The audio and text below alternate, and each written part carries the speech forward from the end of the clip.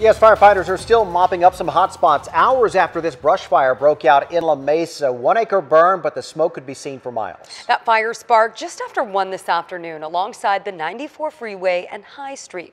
The cause is under investigation, but the San Diego Sheriff's Department took a woman into custody for questioning. And 10 News reporter Jennifer Kastner joins us live from the scene with those breaking details. Jen. Well, Lindsay, that woman is detained. She is only considered a person of interest at this time.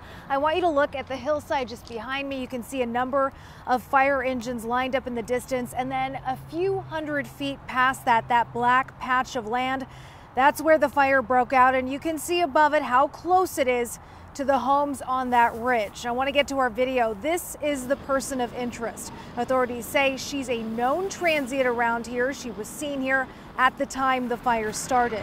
A fire official says there are a number of homeless camps in and around this particular canyon. Still, the cause of the fire has yet to be determined.